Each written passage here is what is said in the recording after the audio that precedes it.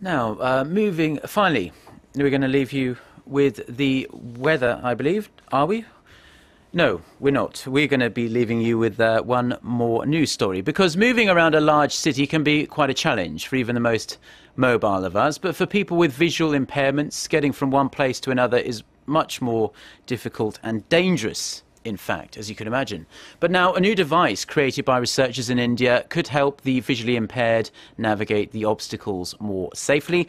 Our Sohn Jung-in has this report.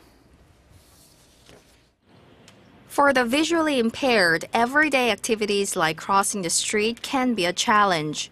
But those tasks may soon get safer and easier thanks to a newly developed device by the Indian Institute of Technology Delhi it has added to the comfort level. It has added to the confidence level. It has like added to my uh, experience of like uh, walking uh, on the road commuting to my workplace to my home traveling to shopping malls and and all. Uh, i feel empowered while using it.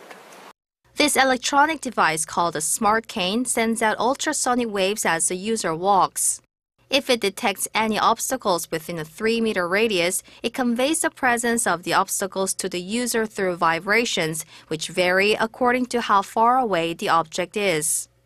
The device can also spot objects above the knee, helping the user to avoid the kinds of upper body injuries suffered by many traditional cane users. What's even better is its affordable price of just 50 US dollars, which is about 25 times less than the market price of a similar product launched in 2011. Users say it has helped them get around quicker than ever.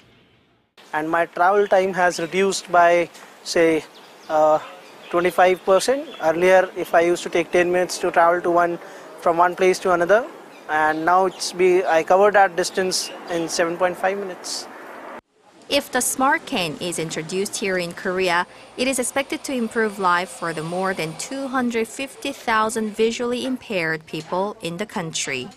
Sohn Jung-in, Arirang News.